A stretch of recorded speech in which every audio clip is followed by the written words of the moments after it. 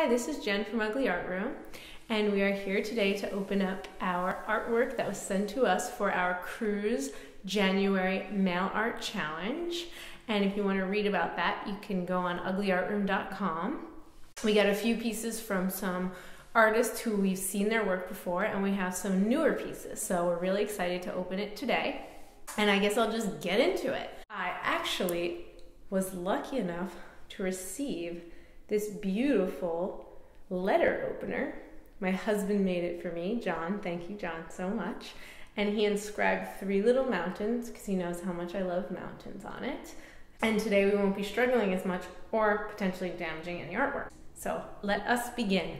The first piece is from Josiah, and Josiah was an artist who sent his work for last month's challenge.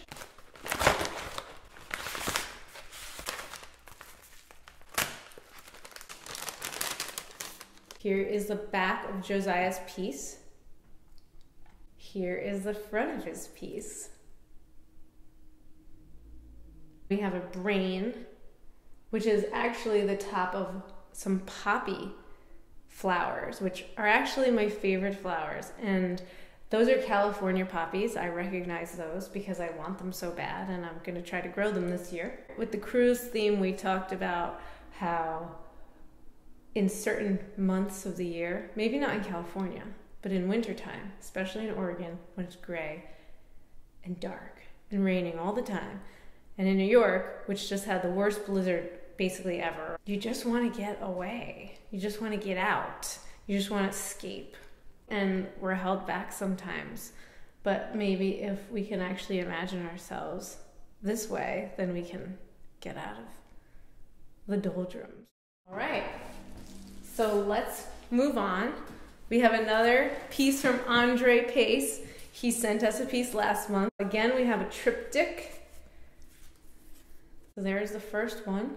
It says cruise ship art, and the piece itself, the piece within the piece, the art in the art, is pretty abstract. On to Andre's next piece, and it's a woman who's on a cruise, maybe leaving New York. And let's look at his third piece and it's a New York Harbor piece. And I like the way they build off of one another. And we start with more of a sketch, and then we go on to something more complete. And both pieces don't have any color. And then it all comes alive with color. We're to open a piece now from an artist whose name is Rob Jelinski. My letter opener just worked so perfectly.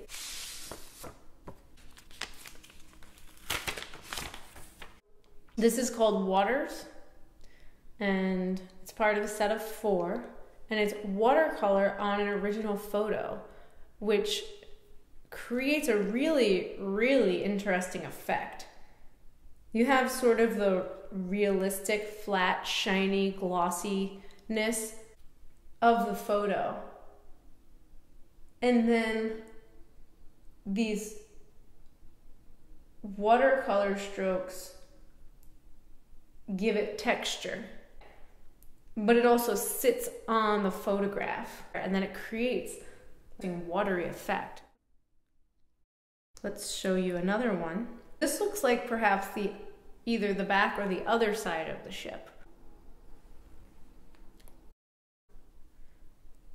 We turn even more and we just see a slight bit of the edge of the ship and then we see more of the ocean. When you look at the sky or you really look at the colors of the ocean, and there's so many different colors within what you would just normally look at and think, oh, that's blue.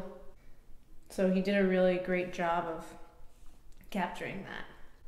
And the fourth in this set is a full view of the ocean without any part of the ship. I love them individually and I I love them as a set. We're gonna look at the next piece that was sent. This is sent as a postcard and it's from Rodni Hipp again. He's also included the hook that you can hang the piece from. And it's made of spray paint, aluminum can, paper, stamps, and ink. The surface is aluminum. I think it's some kind of can because it says gulp on the back. So thanks so much for sending this, Rodni. It's always exciting to get pieces from you. We're gonna move on now to our last piece. And it's a big piece, bigger than my head.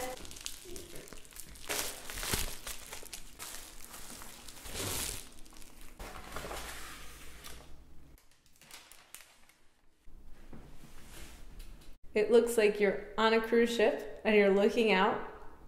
There's really not a lot of depth between the ocean and this wall, but she's created really good perspective here with the tables. And then we get this nice 3D effect here. But what's really cool about it is that the clouds actually are closer to you than the actual cruise ship and these frames of the windows. And we even have some little seagulls or some other seabirds in the background. A lot of the pieces today are pieces that you can hang on your wall and just keep looking at, and they make you think about all different kinds of things. When you're looking at the ocean in real life and in a depiction of it in art, or when you're looking at the sky, you sort of get brought to another place. And I think that all the pieces today really brought us to another place. Thanks to all the artists who sent work today. And be on the lookout for next month's theme. Take care.